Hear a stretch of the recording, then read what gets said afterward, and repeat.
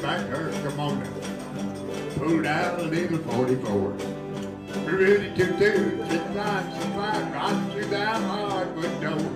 He was her man, but he was doing the wrong. Then Frankie walked up to the courthouse. In life, you have to deal with the cards you're dealt. Then locked me out. In my case, I wound up behind the wheel of a truck again, labeled by a TV show, and a father who perceives me as a threat.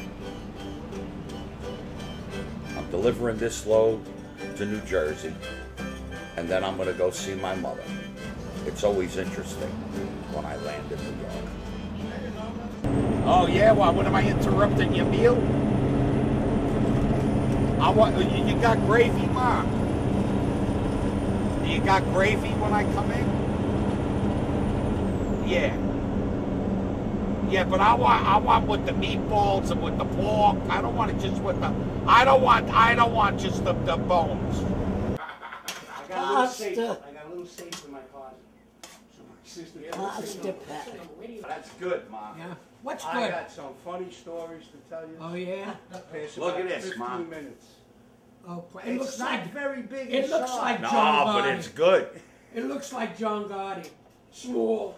Yeah, Johnny was a midget. After we had macaronis at my mother's, I brought Joey down to Mulberry Street to meet my friend Ronnie.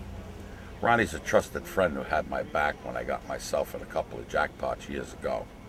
And it's always a little touchy for everyone on the block when I'm around, because of my father. But I come around anyway.